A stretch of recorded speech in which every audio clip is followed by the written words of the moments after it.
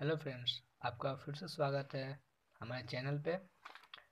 जहाँ पे हम लोग पढ़ रहे थे डाटा कम्युनिकेशन का, लाइन कोडिंग का, हम लोग टाइप्स पढ़ने वाले थे, ओके?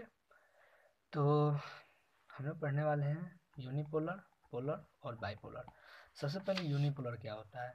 तो यूनिपोलर एक ऐसा इनकोडिंग सिस्टम है जहाँ पे हम लोग एक वोल्टेज लेवल को रिप्रेजेंट करते हैं, जिसमें वन एस को रिप्रेजेंट करते हैं पॉजिटिव से और ज़ीरो एस को रिप्रेजेंट करते हैं हम लोग नेगेटिव से।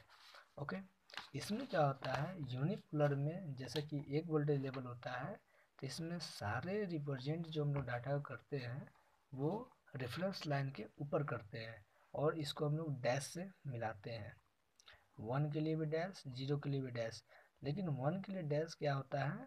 रेफरेंस लाइन के ऊपर रहेगा और ज़ीरो के लिए डैश क्या होगा? रेफरेंस से सॉरी रेफरेंस लाइन पे रहेगा ये। रेफरेंस लाइन पे रहेगा। ओके चलिए, कुछ एग्जांपल है कि आपको समझा दूँ। यूनिपोलर कैसे हम लोग रिप्रेजेंट करते हैं। जैसे कि अगर हम रिप्रेजेंट करना चाहते हैं one one zero one okay इसको हमको रिप्रेजेंट करना है ज़ीरो डिजिटल सिग्नल में। तो हम लोग क्या करेंगे? सबसे पहले एक रेफरेंस लाइन लिए ये। जैसे कि आप जानते हैं रेफरेंस लाइन्स पे ज़ीरो को और रेफरेंस लाइन के ऊपर वन को।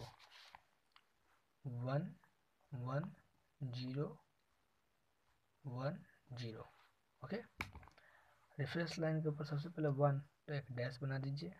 फिर अगेन वन तो डैश बना दीजिए। ज़ीरो यहाँ डैश वन ज़ीरो और लास्ट में आप इसको मिला दीजिए ओके आपका ये रहा डिजिटल कन्वर्शन। ओके, एक और एग्जांपल है कि आपको बता दूँ। Zero zero one one zero one. Okay, इसका लेके बताता हूँ मैं। तो हमेशा रेफरेंस लाइन से ऊपर रहेंगे। Zero one zero one. Okay, zero sorry इससे। Zero one zero one. फिर अगेन इसको मिला दीजिए ओके? इस तरह से आपका कन्वर्जन हो गया यूनिपोलर का। आगे की वीडियो में आपको बताऊँगा पोलर का और बाईपोलर का। तब तक देखते रहिए। लाइक कर दीजिए वीडियो को सब्सक्राइब कर दीजिए हमारे चैनल को। Thank you for watching